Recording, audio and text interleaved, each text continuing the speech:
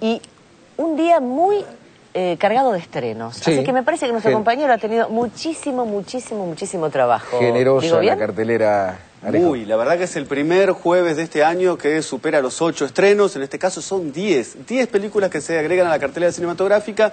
Y usted puede estar preguntándose desde su casa, ¿le sirve a alguno de los productores, alguno de los cineastas esto que está pasando? Se lo está preguntando Juan Carlos acá a mi Sí, lado. sí. No, Sí, la verdad que no, porque es obvio que de este jueves al próximo jueves muchas van a salir de cartelera y la gente no va a ver 10 películas en una semana. Con suerte y viento a favor va a haber una. Pero comencemos por la primera de ellas, se llama Los Labios, está dirigida por Santiago Loza, por Iván Fundes, una codirección.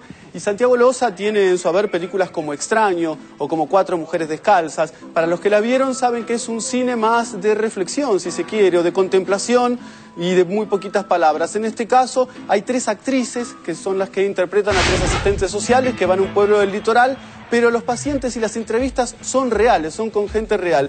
Una película diferente.